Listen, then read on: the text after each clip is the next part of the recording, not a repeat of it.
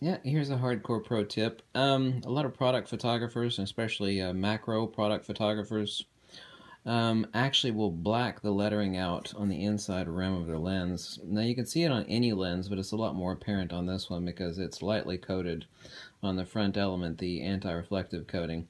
But what you can actually see is a mirror image of the lettering as reflected in the front element. Now you think, oh, this is no big deal. Actually, it does absolutely show up, and you can actually find a lot of references to this, uh, references to this if you go looking.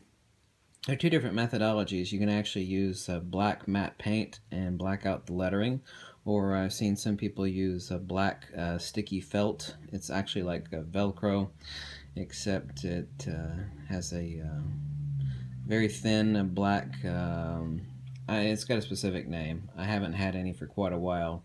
It's got a sticky back and it's basically like black felt.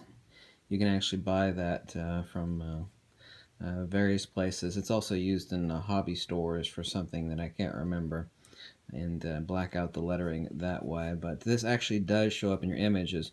It's especially true in most product photography. Um, namely, even if you're using a lens hood, the uh, speculars uh, from the product or the background will actually hit the uh, white lettering and uh, that will actually drop its way in the mirror image back into the lens and it will show up in the uh, product shot. Now obviously you can digitally edit out a lot of stuff but there's no need for that. The easiest thing to do is to black out the lettering uh, along the rim of the lens. How do you like those 18 rounded, let me focus in here. You can see. How do you like those 18 rounded aperture blades? Isn't that a beauty of a lens, huh? This is only a four element lens too. This is the second one of these I own. This is a 200 millimeter f3.5 uh, Pentax Takumar. No, it's not radioactive at all. This huge, huge lens is only four elements. Anyway, that's it.